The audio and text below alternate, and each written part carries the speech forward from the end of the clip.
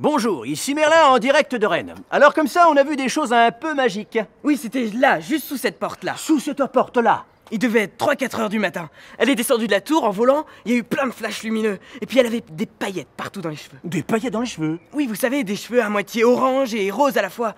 Genre une fée de la nuit, quoi. Une fée de la nuit. mais je vous assure, c'est vrai. Ah mais je te crois mon grand, je te crois. Ici Merlin en direct de Rennes. En Haute-Bretagne, ce qui n'est pas une légende, ce sont les rues pleines de vie et d'histoire de Rennes. Sa scène rock et électro, ses festivals toute l'année, ses places, ses terrasses, ses bistrots gourmands. Préparez votre séjour de légende sur bretagne35.com et partagez vos incroyables expériences en Haute-Bretagne avec le hashtag Ce n'est pas une légende.